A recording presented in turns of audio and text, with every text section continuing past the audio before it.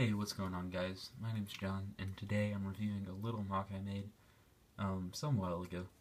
It is a space scouting tank, and it's, it's a little bitty thing. Um, inspiration for building this creation came from the tank treads that were used and the color scheme of this Mars mission's uh, torso piece, kind of the orange and white and grays kind of color scheme.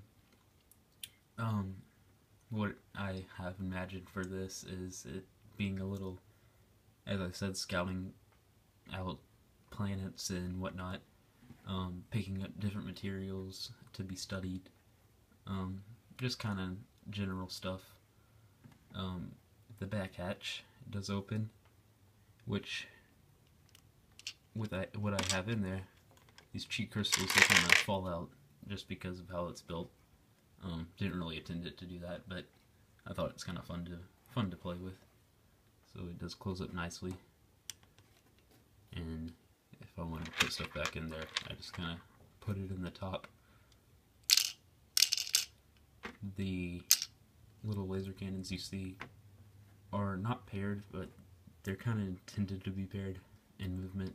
I don't. They can move singly, but there just wasn't a simple way to pair them and keep friction that I know of. There probably is, but I just don't know of it.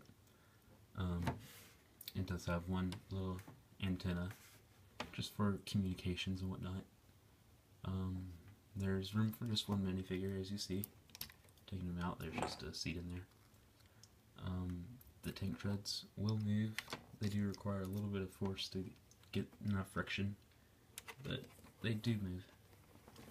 Um, I kind of built up as it went along, kind of built up towards the back to kind of cancel out the amount that I slanted it back, if that makes any sense. So it doesn't appear to be kind of falling backwards, which I thought turned out kind of nicely. Um, we do have some tail lights, and that's about it on this little small thing. It was kind of fun to build. So, if you do enjoy this, please leave a like or comment and let me know what you think of it. Thanks.